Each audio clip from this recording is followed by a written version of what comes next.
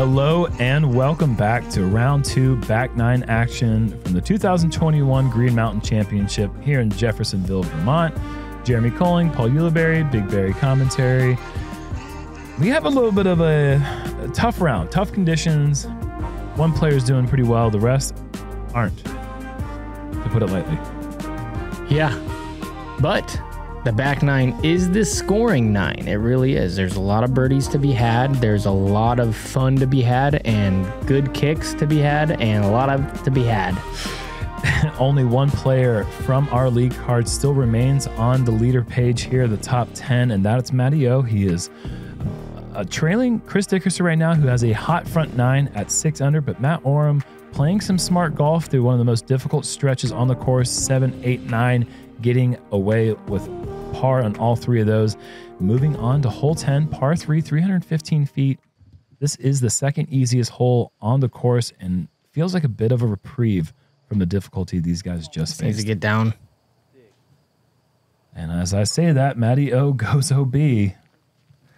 Not a good one to go OB. You have a lot of room on the left hand side to swing that sidearm in. MJ going turnover Comet, and that's pretty clinical. Was that his banger? It could, I don't think it would be. I don't think he's thrown it this far. I think it probably would have been a Comet. Here's the Comet, man. That's gone. This looks like it's going to go too far right or too long or just be parked. Oh, good little reaction. Yep. And this is a good bounce back birdie hole for Zach. Just sit. Go in. Sit. Okay, there it is. One par, three birds. Matty O from 45. Oh, it looked great. Just over the top. That looked like it was in. That was a crazy angle. I don't know what he just, the little wiggle stand up move he did there. MJ, it's been a while since he's seen a birdie. Going all the way back to hole two. I like how he just fired it in there. That's how Chandler puts, man. No. Um, Oh, MJ. MJ, we know that's how Chandler puts. Okay. It Yeah. seems like sometimes I feel like when he really finishes his stroke with that aggressive nature, he MJ, MJ's a nasty putter. I mean, Yes. he, he's the only player I think in disc golf history that's had a ma- major manufacturer make three putters for him. They made the zone for him when he switched from Innova to, to Discraft in 2008. He wanted something with a little more glide, so they made the Ringer, and then he wanted something with a groove top, so they made the Ringer GT. I'm pretty sure all three of those were made specifically for Michael Johansen. Hole 11, par 4, 600 sounds a 600 bit feet. needy if you ask me. Just kidding. 600 feet. There's a tree in the middle off the tee that players are going to want to stay right of. Try to finish somewhere in the middle of the fairway, but there is OB left and OB right. This one's all about picking your angle. What kind of approach angle do you want to set yourself up with? That's a nice shot from MJ. That's going to be a slight turnover down the hill. Yeah, the only tough the the tough thing about this shot is it goes left OB like this. Oh, yeah, that's tough. Unless it gets the Matty O roll. Yeah, only Matty O gets those.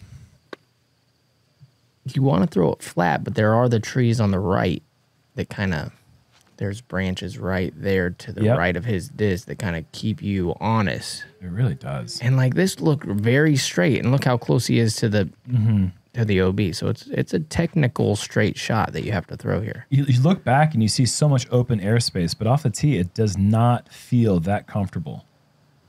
This is the shape you want. Yep. A little anhyzer comes back. Yeah, The problem with this is now he's cut off his angle into the basket. because he's gone so far. So the anhyzer backhand in there isn't open like this is for MJ, which he doesn't turn this enough. He's going to need a good Okay. tree kick. That's decent. And once you get down this hill, there is OB left and OB right as well. So it's you're not out of the woods yet because you're not even into them yet. And OB deep. Yep. And that was actually close to going out of bounds for for Zach. I don't know. This is a comet. Yes, This is way too much disc. That's what I was saying. Okay, Oh, no, well, it's perfect. He. What do we know? it might have been a, a breaker. That would make more sense. Either way, he is gonna break even on hole eleven with a par. Nice, I like that. Thank you. Er, he's gonna have to earn it from there. 35, 40, 40 footer down the hill, and this is quick. Okay, laying it up. And all of a sudden, we've got shadows on the green as the weather just has not decided. It has not made its mind all day long.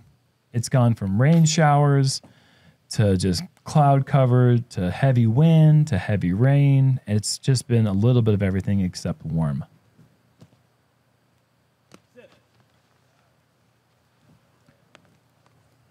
Missed opportunity for Matty O. So after that nice start, it's kind of slowing down. Only three down through 11 isn't exactly where he'd like to be at this point, I don't believe.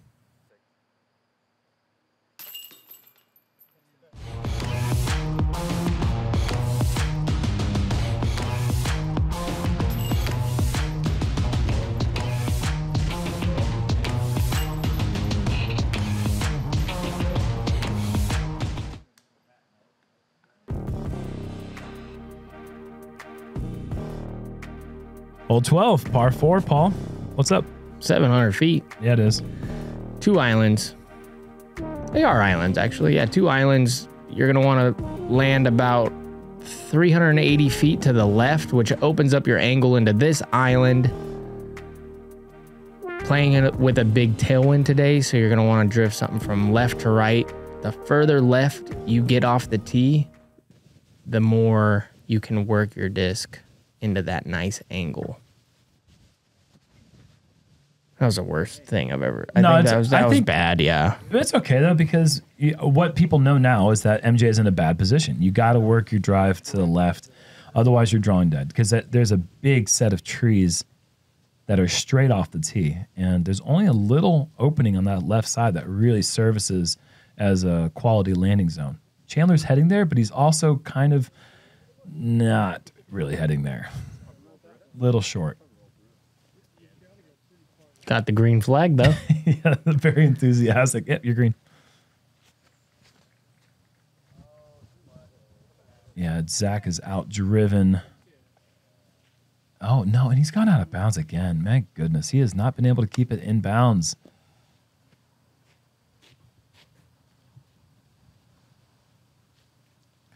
This course knows how to compound your mistakes and it just you start to lose trust in your disc selection you start to lose trust in your win reading and it just goes downhill so quick I don't even want to talk anymore with how bad I butchered that. it wasn't that bad There's Zach doing good. Duh. That's what I sound. That's what I felt like I sounded like. And if anybody got behind the mic they would do much better you're right that was awful Basically, none of these guys got to the left side, which is where Yeah. you need to be to open up a shot that's comfortable into the green. You want to flex something Yep. that's stable because of the wind where those trees are blowing. Mm-hmm. That comes back and makes the fairway very wide. If you're where MJ is, now you're going to turn something too much, Yep. and you won't have the disc to get all the way to the basket. it is this is a incredibly challenging two shot hole and it's middle of the pack as far as difficulty a 4.11 average just because there's so many difficult holes out here at fox run See, it is, but I feel like if you, it's it's the drive that makes it difficult. Mm-hmm. You don't want to get to that left side because you'll get where Chandler was and you'll be blocked. you'll have nothing but if you get right in front where Chandler was, you'll have a just a dead set hyzer right into the pin, which is an easy shot for a 400 foot shot for this card. you'd, you'd hope I I do hope. yeah nothing has been made to look easy so far today yet though Yeah, they also haven't had 400 foot hyzers. chandler has this very tricky that is a short putt no one wants to have to make and you see that flag ripping sideways Yeah, it, it it's weird because a few holes back it seemed like perfectly calm, nothing to worry about, and now look at that, it's just ripping This weather really left to right cross. Matty O. He's gonna run and jump it into there, into the basket. I like that though. Reset yourself. I mean, these tap-ins should you shouldn't even have to think about it. But when that wind is rip, ripping like that, just give yourself a little break, reset. We've all missed them. I did today, and I, I I mean it. I literally think I missed top five shortest putts I've ever missed in my life. I want I want a rebuttal. A hole 13, Paul. Par three, 360 feet. You're gonna want to throw something semi-stable down towards this telephone pole, drifting from right to left. You want to miss those trees on the right. You want a slow fade that kind of just drifts right into the circle. What do you think the best disc is? Mid-range, fairway driver? The Raptor. I'm more of like a Thunderbird type of guy myself, but Well, let me ask you, what do you think the best disc is? I mean, for this hole, I went with Eagle, and I, I, I like the results. But I think fairway driver is is the proper choice. To- totally. I think fairway with whatever you Oh, don't get the roll. with Okay. whatever you do is going to kind of filter in there.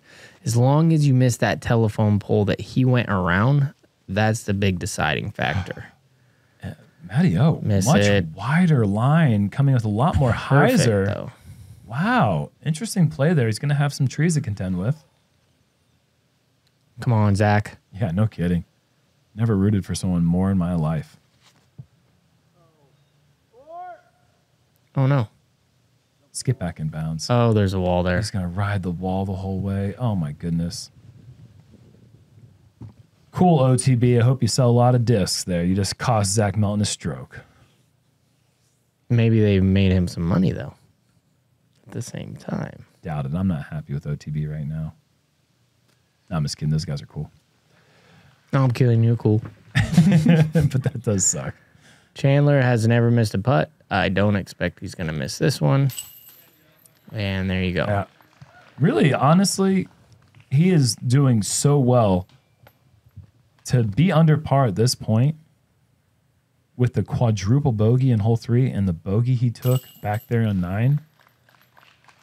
He's playing some good disc golf. Yeah, he was not anywhere close to Matty O for a little bit there, Mm-hmm. and now he's kind of creeping back. He's within two, so we got a nice little battle again on the card. He's within Oh, one. he's within one.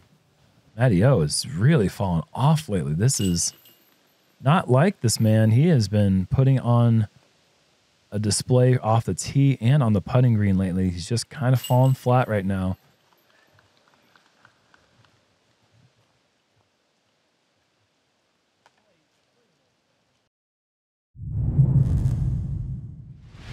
I'm Paul Ulibarri with today's Bushnell hole breakdown. You can find the Edge Disc Golf Rangefinder at the link in the description. Hole 14 is a bit awkward. The wide hyzer carries OB the whole way and the straight shot has tons of guardian trees blocking the green. Either way, it's a good get. Let's see how it plays out. MJ throwing a flip up hyzer. He's going to need to get a little more distance. That's not cresting the hill. That's going to leave him about 45 50. Lots of trees in the way. About 43 trees between him and the basket. Chandler, oh, yeah, through everything. That's going to have one, maybe two trees in the way. That one looks like it squares it up. He's going to have to straddle out and have a little tricky hyzer putt into there, but that's his preferred angle to putt with. Matty O playing the wide. I like the wide Yeah, play here, but He's lucky to stay in bounds. I've never seen one hit those guardian trees on the right hand side and not just roll straight out of bounds to the right. it is very, very strange how well you can predict that to happen. These trees that Zach is pushing right here, and Don't don't. okay, curls back up. That's fine. And in fact, it might have even put him in a better angle uh, with less trees in the way for the putt.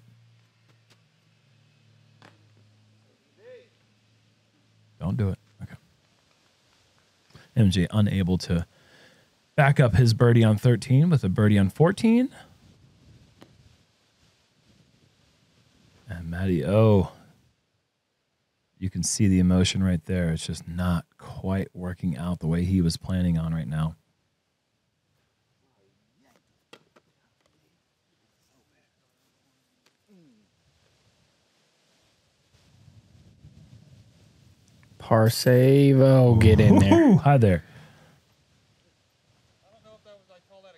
but it did go in. there. Seems pretty good to me.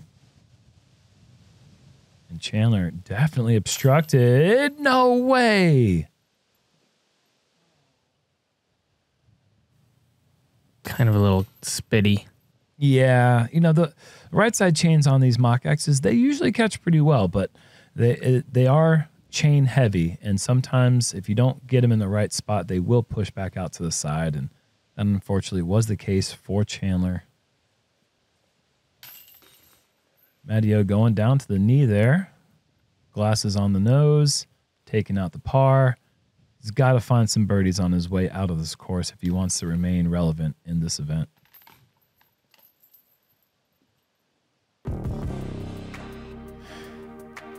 The next two holes here at Fox Run could easily be switched out for Brewster Ridge because they are heavily wooded, starting with 15 par 3, 315 feet.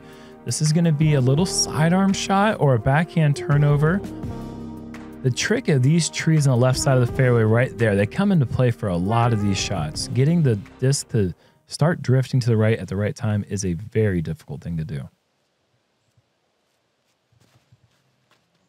MJ, no stranger to shots shaped like this. This is North Carolina golf all day, just coming up a bit short. Yeah, just didn't have enough power to make that corner with that angle. Threw it a bit too soft. Let's see if Chandler can make the correction. He slips, and he does. This looks great, actually. Oh wow, that is that is beautiful. That is absolutely beautiful. That was so cool. I went around the corner and then just nosedive right towards the basket. That was picture perfect. He, when he slipped, I didn't think he had enough on it, but he really got the right amount of spin to get. Oh wow, little deep. He got a little love getting through all the trees on Yeah. the left hand side, but then he's still gonna have to earn it being backside of the green, about forty five, no, forty two feet. and that's the- you can see there with Matty O and Zach Melton's drives the difficulty of the left to right moving. Either the the lefty backhand or the righty sidearm is that those trees in the backside really come into play quick. Getting it to drift early, you almost feel like you have to saw it off early to be able to make that corner properly. Nothing going for Michael. He'll just tap in for par. Zach needs a little of the same, but that's not going to draw any metal, and he's going to be left with a little 15 footer. Matty O, no, again. And once again, he finds the ground. And He's going full commit, though. He's given it everything. That's certainly, we can't take that away from him. Zach is still chipper. I mean, that's, you got to love that about him. You know, he's not playing his best round and he's still cheering for his card mates. In this game, preparation is everything. Success is not by accident. Because you know, the course plays no favorites. In this game, detail matters. Idio Sports.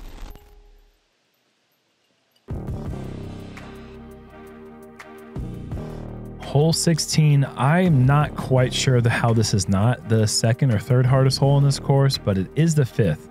Par 4, 700 feet through this narrow corridor. You want to land your drive somewhere near that short tee pad there. That is an A plus drive.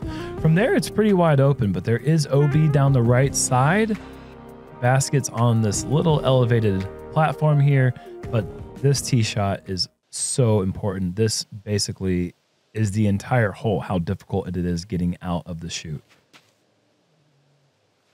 A little heavy on the hyzer. He's going to need a good reaction on that right side. That's the worst reaction he could have Oh, ah, got. no way. And there's no way for him to know how bad he just got hosed. Oh. Let's not tell him. No one tell him.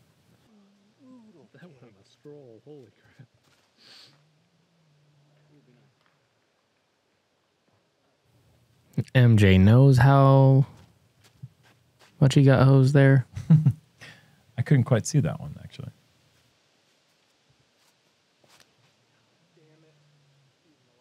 Matty O not quite getting the, the flat out of out of the shot he was looking for. Staying left is key though. He's gonna have that tree to contend with, but you can still lean out and get a sidearm through the gap. Par on this one feels so good. Yeah, and if you end up anywhere in the middle How? How did you do it? Tell me. by going over that little hill, if you end up anywhere in the middle, tucked on that left hand side or the right hand side, it is pretty easy to then chip one to the other side. It's a pretty big window to get from left to right to that if you're not trying to go all the way to the pin. Did Zach kick right and then kick back left, or was that his third shot? He did. Oh Double wow. kick. Nice. Nice. MJ threw the gap in two. That should set up a relatively routine up and down for par.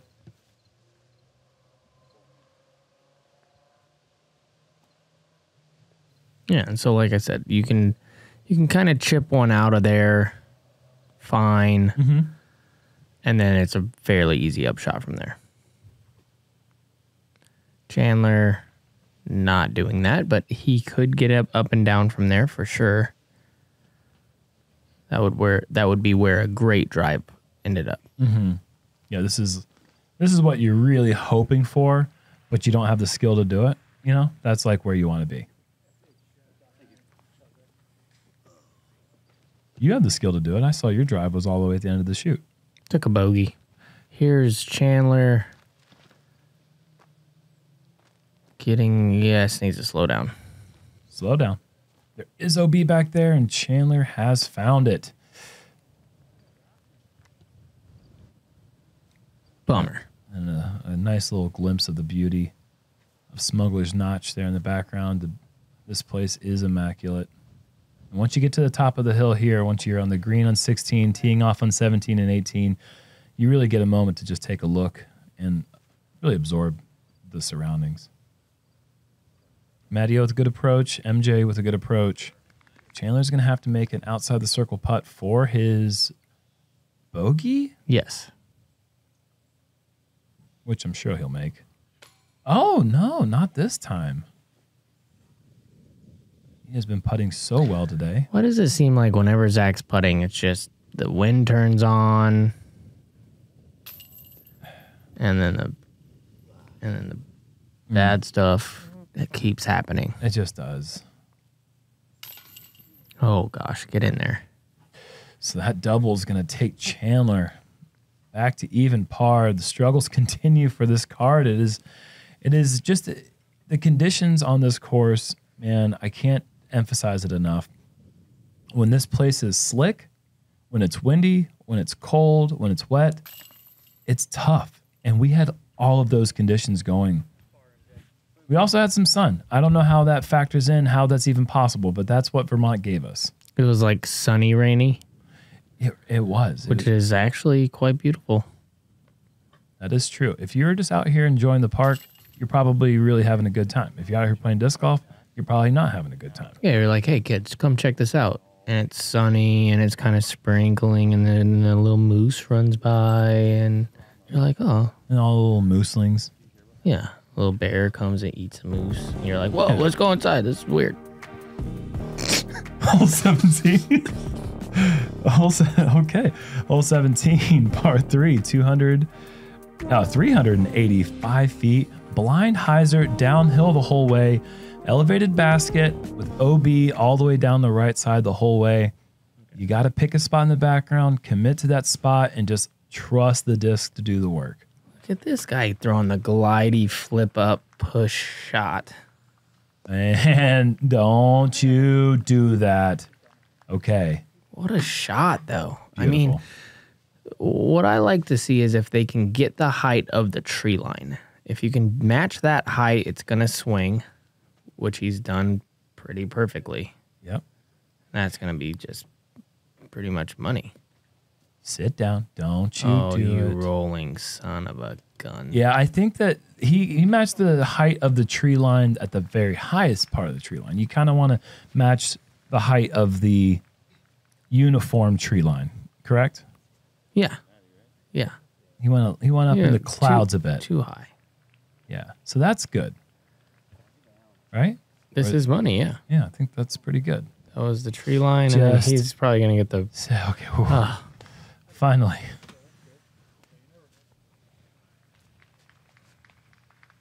See if Chandler can finish with a couple birdies here and you know, a couple under at this course. There these guys aren't the only ones struggling, believe me.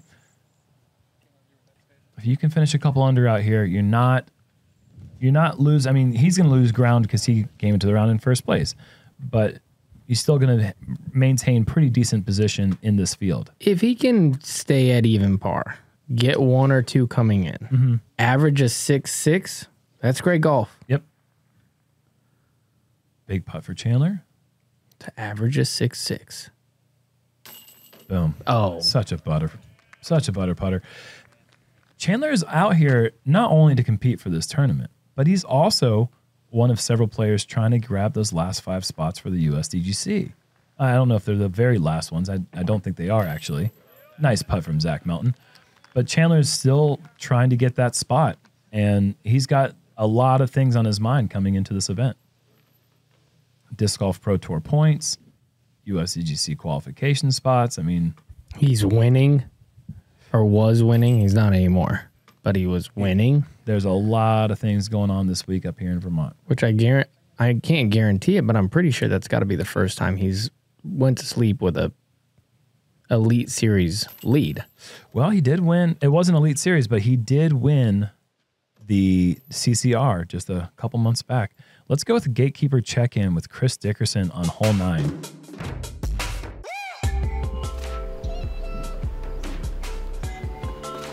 And we mentioned Chris Dickerson's front nine. He's five under at this point, but how did he get to six, you ask? Well, drives like that on hole nine are quite special making this hole seem simple is uh, it's hard to put into words how good that is. So now he is seven under going into hole 11. Here's his drive. Picture perfect. He needs to just get a little. Oh, that's far. He's far. So he's got the little turnover putter shot down the hill. Watch this.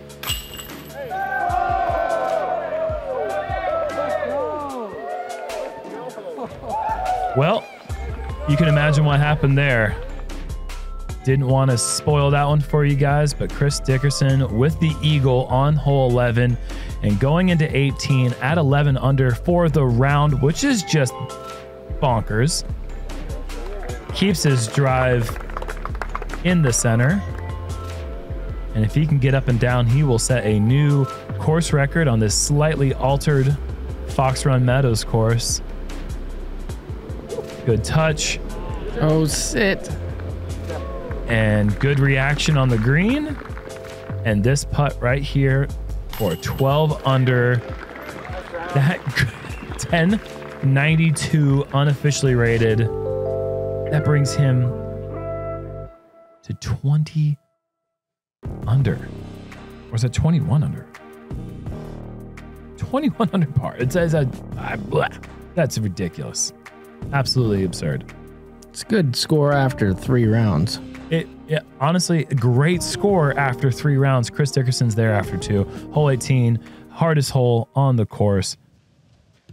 4.87 average. Might as well just call it a tough par five. If you go OB early, you're basically reteeing. If you're going to make any mistakes, you have to go OB left. That is- MJ putting the brakes mm-hmm. on. That's nice. He's going to have that wide left to right bending turnover that he likes. Tough to get him in position from there for the birdie, though. difficult tee shot for a lefty. Zach Melton stripes that. you can hear the sigh of relief. No more genuine sound than that landing inbounds on 18. This is looking really nice. Oh, that's blistered and just perfect. Center cut. Mm-hmm.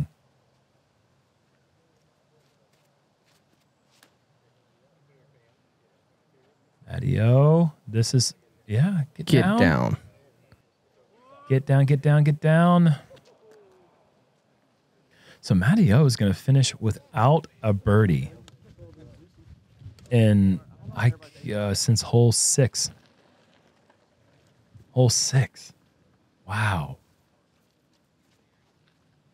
MJ laying up. Wow, that takes a lot of gamesmanship hmm. for you to be able to be like, okay, I'm one under. That's not really the best score, but being five under, five under, combine mm-hmm. those two scores, that's Not good. bad. Yeah. Melton, he's trying to finish his round in a decent way. He's going to have a putt inside the circle. That would get him to six over for the round. Chandler with a not his forte with the forehand, but he's got a serviceable one. Just sit down. Don't you even think about it. That is so wrong. That mound, you do see those reactions like that occasionally. That was a tough break for Chandler. Well, that was just pretty. Mm-hmm.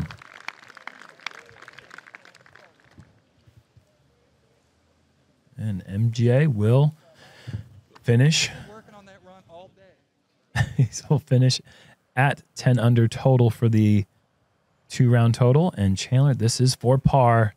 And why not? What? He worked so hard for that one under par, and I'm I am actually thoroughly impressed with how he performed today with everything that he went through. I agree. No, no, no, that's gone. Oh man. Now, I don't understand why Zach decided to putt this one from this spot. It rolled OB. He could have played from the same lie, taken the stroke, but it doesn't matter now. He's taken that lie. He's missed that putt, and now he will have a tap in for the double bogey. Matty O finishes with a par on 18. A very un Matty O like performance on the back nine with two bogeys, no birdies. Zach Melton, nine under first round, nine over second round, all square. And man, if there was ever a way to tell the difference between Brewster Ridge and Fox Run, it was what we just saw right there. That course just ate our lead card up. It's another course of just patience. You got to be patient. You got to pick your spots. We saw actually MJ do that, and he found himself at a 10 under par. It's not a great score, but it's good enough to keep him in contention for a top 10 spot, which is really a great performance here as we see. Yep. You know, we saw Dickerson with that fire emoji of 12 under. That's oh, not 11. really realistic for anybody in the field to think, okay, I'm going to shoot a 12 under today, especially in the conditions we had. What you have to do is you tip your hat, go on to tomorrow. Luckily for these competitors that struggled today, four round tournament. Ricky Wysocki shoots an 11 under, and he's two back. That just puts in into perspective how great Chris Dickerson's round was. Our lead card, they have separated themselves a bit. They have played an incredible two round total. Come back for round three in the second half of the 2021 Green Mountain Championship tomorrow. See you then.